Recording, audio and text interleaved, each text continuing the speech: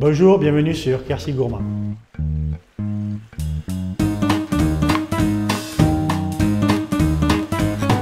La recette du jour, le pitivier des rois ou la galette des rois. Les ingrédients 200 g de poudre d'amande, 2 œufs, 80 g de sucre glace, 100 g de beurre pommade, un peu d'extrait de vanille, du rhum, deux disques de pâte feuilletée que vous pouvez faire faire par votre boulanger de préférence. En principe, il vous le fera. Une fève et la, et la couronne. Pour l'appareil de la galette, on mélange à la spatule ou à la main si on les a lavées et qu'elles sont propres. Bien sûr, vous pensez à préchauffer votre four à 200-210 degrés. Maintenant, nous mélangeons tous les ingrédients. La poudre d'amande, le sucre glace.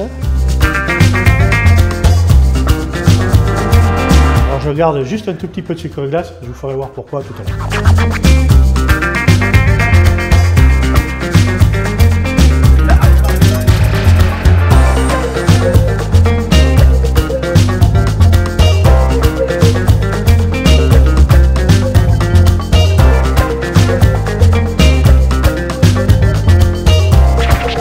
Maintenant.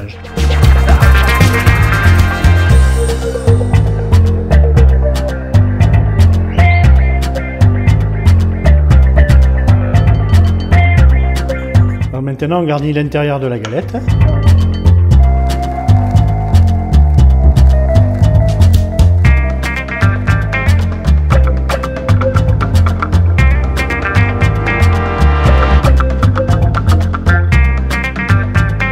Tout de suite, on met la fève. Maintenant, on fait une dorure, c'est-à-dire qu'on va casser un jaune d'œuf et le mélanger avec un peu d'eau. On applique sur les rebords. Là maintenant, on appuie bien sur les côtés. Et pour être sûr que la pâte tienne bien, on va chiqueter. En plus, ça la fera jolie. Maintenant, on dore le dessus. Doucement, on va faire des beaux dessins.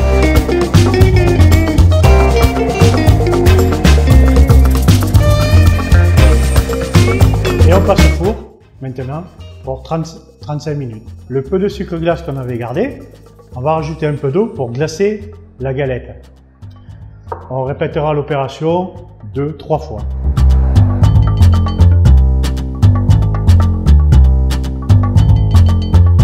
The King, I am the King. What else?